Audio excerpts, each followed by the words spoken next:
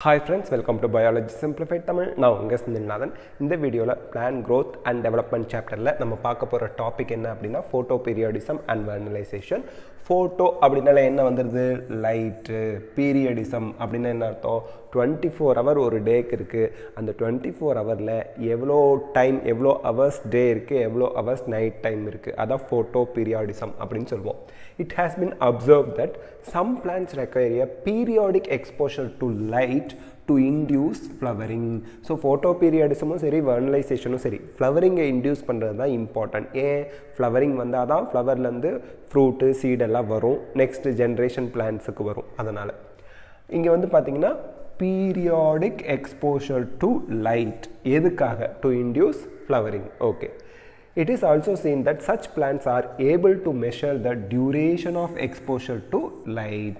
So ஒரு particular டைம்க்கு அவங்க லைட்டுக்கு எக்ஸ்போஸ் ஆனால் தான் ஃப்ளவரிங்கே வருங்க.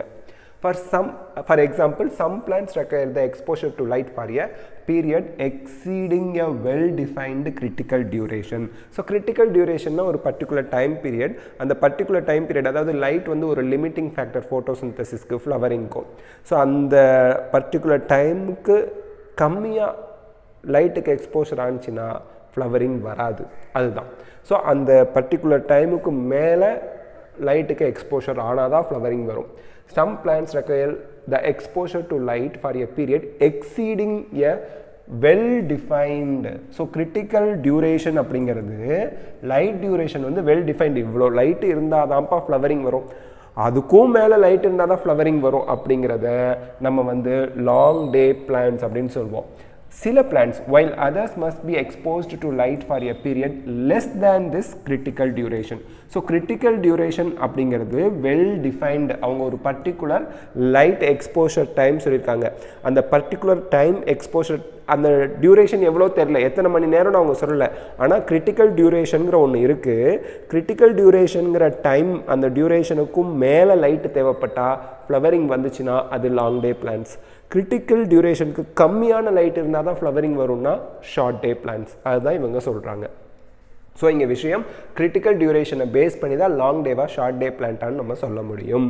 Okay so period less than this critical duration before the flowering is initiated in them the former group அதாவது கிரிட்டிக்கல் டியூரேஷனும் விட லைட்டு ஜாஸ்தியாக தேவைப்பட்டால் அவங்க long day plants latter ones அப்படிங்கிறது கிரிட்டிக்கல் டியூரேஷனை விட கம்மியான லைட் தேவைப்பட்டால் அவங்க வந்து ஷார்ட் டே பிளான்ஸ்னு சொல்கிறாங்க ஸோ கம்மியான லைட் பீரியட் ஜாஸ்தி லைட் பீரியட் இதுக்கு ஒரு ஸ்கேல் வேணும். அதுக்கு இப்போது பிஹெச் ஸ்கேலில் செவன்கிறது நியூட்ரல் செவனுக்கு மேலே இருந்தால் பேஸ் செவனுக்கு கீழே இருந்தால் ஆசிட் அந்த மாதிரி கிரிட்டிக்கல் டியூரேஷனுக்கு மேலே லைட் தேவைப்பட்டால் long day plant cricket critical டியூரேஷனுக்கு கம்மியான லைட் தேவைப்பட்டால் ஷார்ட் டே பிளான்ஸ் அவ்வளோதான் இந்த critical duration is different for different plants இப்போ நீங்கள் கொஷின் கேட்பீங்க சார் அந்த கிரிட்டிக்கல் டியூரேஷனுங்கிற அந்த டைம் பீரியடு அஞ்சு மணி நேரமா பத்து மணி நேரமானு டிஃபைன் பண்ணாமையாக இருப்பாங்க?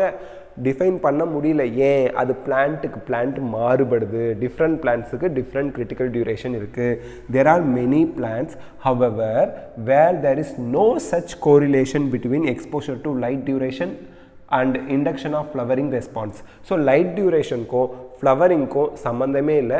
நிறைய பிளான்ஸுக்கு அது எவ்வளோ கிரிட்டிக்கல் டியூரேஷனுங்கிற ஒன்றே அந்த பிளான்ஸுக்கு கிடையாது. அப்படி இருந்தால் அதை நம்ம டே நியூட்ரல் பிளான்ஸ் அப்படின்னு சொல்லுவோம். இப்போது மூணு விஷயம். கிரிட்டிக்கல் டியூரேஷனை விட அதிகமான லைட் தேவைப்பட்டால் ஃப்ளவரிங்க்கு அது லாங் டே பிளான்ஸ் கிரிட்டிக்கல் டியூரேஷனை விட கம்மியான லைட் தேவைப்பட்டால் அது ஷார்ட் டே பிளான்ஸ் கிரிட்டிக்கல் டியூரேஷன்லாம் கிடையாது. லாங் டியூரேஷன் லைட்டோ இல்லை ஷார்ட் டியூரேஷன் லைட்டோ அங்கே ஃப்ளவரிங் வந்துக்கிட்டே இருக்கும்ப்பா டே நியூட்ரல் பிளான்ட் அவ்வளோதான் இந்த மூணாக பிரிச்சிருக்காங்க கிரிட்டிக்கல் டியூரேஷன் நல்லா மனசில் வச்சுங்க ஏன்னா critical duration differ from plant to plant it is now it is now known that not only the duration of light period but that the duration of dark period is also equal importance அதாவது எப்படி வந்து critical duration லைட்டை base பண்ணி long day short டேன்னு சொல்கிறாங்களோ அதே மாதிரி டார்க்கும் ரொம்ப முக்கியம். ஒரு பர்டிகுலர் பிளான் பர்டிகுலர் டைம் டார்க்கில் இருந்தால் தான் ஃப்ளவரிங் வரும். Hence it can be said that flowering in certain plants depends not only on combination of light and dark exposure but also their relative duration relative டியூரேஷன்னா day time எவ்வளோ இருந்துச்சு?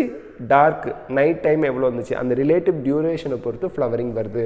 This response of plant to periods of day or night is termed as photoperiodism day and night இதை base பண்ணி எவ்வளோ day time தேவை எவ்வளோ night time தேவை அதை base பண்ணி ஃப்ளவரிங்கை நம்ம ஃப்ளவரிங் பிளான்ஸை கேட்டகரி பண்ணுறோம் long day short day day நியூட்ரல்னு அதை தான் ஃபோட்டோ பீரியாடிசம் அப்படிங்கிறோம். It is also interesting to note that while shoot apices, shoot apices na stem or tip modify themselves into flowering apices prior to flowering they that is shoot apices of plants by themselves cannot precise photoperiod. Photoperiods so இங்கே என்ன சொல்கிறாங்கன்னா இது ஒரு தடவை கொஷினில் கேட்டிருக்காங்க. Shoot apices தான் flowering எபிசஸாக ஃப்ளவரிங்க்கு முன்னாடி மாறுது. அப்போது இங்கே shoot apices of the plant வந்து பார்த்தீங்கன்னா by themselves can not perceive the photoperiod பர்சீவ்னா receive பண்ணுறது அப்படின்னு அர்த்தம். பர்சீவ்னா ரிசீவ் பண்ணுறது அவங்க ஃபோட்டோ பீரியடை ரிசீவ் பண்ண முடியாது அப்படின்னு சொல்லி கொடுத்துருக்காங்க. Okay the site of perception of light or dark duration are the leaves so இந்த இடத்துல என்ன சொல்கிறாங்கன்னா தெளிவாக புரிஞ்சுக்கணும். சார் இந்த இடம் கொஞ்சம் கன்ஃபியூஸ் பண்ணுற மாதிரி இருக்குன்னு சொல்லுவீங்க. ஷூட் எபிசஸ் தான் ஃப்ளவர் எபிசஸாக மாறுது. ஆனால் ஷூட் எபிசஸ் லைட்டை பர்சீவ் ரிசீவ் பண்ணுறது இல்லை லீவ்ஸ் தான் ரிசீவ் பண்ணுறாங்க லீவ்ஸ் தான் ரிசீவ் பண்ணுறாங்க இதை நல்லா நோட் பண்ணிக்கணும். பர்சீவிங் லைட் யார்? எந்த ஆர்கன் அப்படின்னு கேட்டால் லீவ்ஸ் நாட் ஷூட் ஸ்டெம் கிடையாது. It has been hypothesised that there is a hormonal substance hypothesise அப்படின்னா ஒரு கெஸ் பண்ணி சொல்கிறது இப்படி இருக்கலாம் அப்படிங்கிற மாதிரி ஹைப்பத்தட்டிக்கல் அப்படின்னு சொல்லுவாங்க. Hormonal substances that is responsible for flowering this hormonal substances migrates move பண்ணுது. From leaves to shoot apices for inducing flowering only when the plants are exposed to the necessary inductive photoperiod so பிளான்ஸுக்கு தேவையான அளவுக்கு day time night டைமுக்கு exposure ஆணுச்சுன்னா leaves தான் லைட்டை receive பண்ணுது. லீவ்ஸில் flowering hormone ஒன்று இருக்குது அது அப்படியே மைக்ரேட் ஆகி ஷூட் எபிசஸ்க்கு போய் ஷூட் எபிசஸை ஃப்ளவரிங் எபிசஸாக மாற்றுது even though shoot apices flowering எபிசஸாக மாறினாலும் கூட ஷூட் எபிசஸ் லைட்டை பர்சீவ் பண்ணுறதில்ல லீவ் தான் லைட்டாக பர்சீவ் பண்ணாங்க மறந்துடாதீங்க these are are very important thing இந்த டயக்ராம் பார்த்துக்குங்க. கிரிட்டிக்கல் ஃபோட்டோ பீரியட் இதுக்கும் மேலே ஃப்ளவரிங் வந்துச்சுன்னா அது long day plants critical photoperiod இதுக்கு கீழே எக்ஸ்போஷர் லைட்டுக்கு எக்ஸ்போஷர் ஆனால் மட்டும் உங்களுக்கு ஃப்ளவரிங் வந்துச்சுன்னா அது ஷார்ட் டே பிளான்ஸ் அப்படி ஒரு கிரிட்டிக்கல் ஃபோட்டோ பீரியடே கிடையாதுங்க அதுக்கு.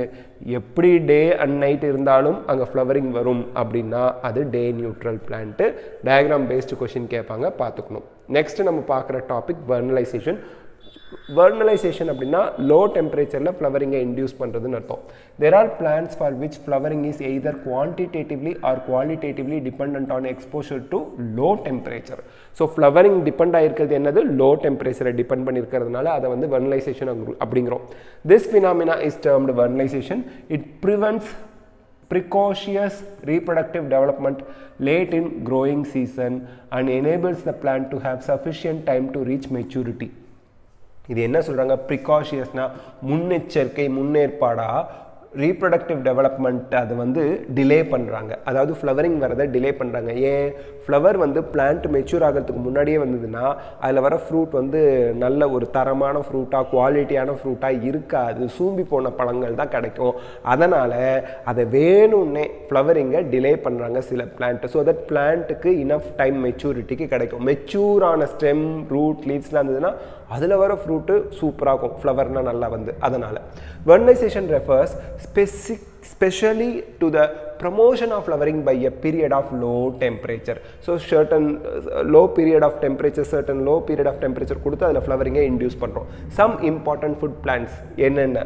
வீட் இது கொஷினில் கேட்பாங்க பார்த்துங்க barley rye have two kinds of varieties winter variety and spring variety. Spring variety are normally planted in the spring and come to flower and produce grains before the end of the growing season no issues spring வெரைட்டியில் நமக்கு பிரச்சனை இல்லை. ஸ்ப்ரிங்னா வசந்த காலம்.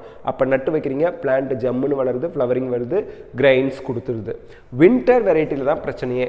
Winter varieties however if planted in spring winter variety வின்டரில் வைக்கணும். ஏன்னா அது winter சீசனுக்கு exposure ஆனால் தான் நல்லா வளரும். அதனால தான் அதுக்கு பெரிய வின்டர் வெரைட்டி பட் ஸ்ப்ரிங்கில் அந்த வின்டர் வெரைட்டி நட்டா என்ன ஆகும் would normally fail to flower or produce mature grain within year span of flowering season hence they are planted in autumn season winter வெரைட்டியை எப்போ பிளான் பண்ணுவாங்க நீட் கொஷினில் கேட்பாங்க ஆட்டம் சீசனில் they germinate over winter come out as small seedling resume growth in the spring and are harvested usually around the mid summer அப்போது long duration எடுத்துக்குது winter வெரைட்டியை நம்ம cultivate பண்ணுறதுக்கு இப்போது வின்டர் வெரைட்டி நல்லா கல்டிவேட் ஆகணும் நல்லா வளரணும்னா என்ன ஆகணும்? வின்டர் சீசனில் தான் அது ஸ்மால் சீட்லிங்காக வருது. Win over winter come out as small seedling குட்டி செடியாக வருது.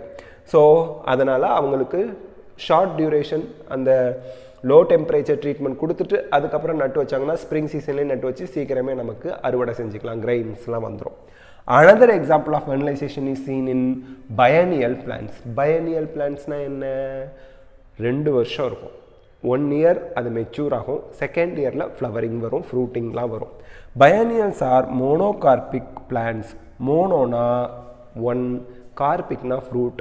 அவங்க ரெண்டு வருஷம் இருந்தாலும் ஒரு தடவை தான் ஃப்ளவரிங் கொடுப்பாங்க. அதான் மோனோகார்பிக் ஃப்ளவரிங் ஃப்ரூட்டிங்லாம் கொடுப்பாங்க. அதான் monocarpic plants that normally flower and die in second season sugar beet cabbages carrot are some of the common biennials இதெல்லாம் டூ இயர்ஸ் இதோட லைஃப் ஸ்பென் அதான் பயனியல்ஸ் ஆனுவல்ஸ்னால் அதோட லைஃப் ஸ்பென் ஒன் இயர் பெரனியல்னால் அதோட life span several years so பயனியல்ஸ்க்கு example sugar beet cabbages carrots Subjecting the growing of biennial plant to a cold treatment stimulates the subsequent photoperiodic flowering response.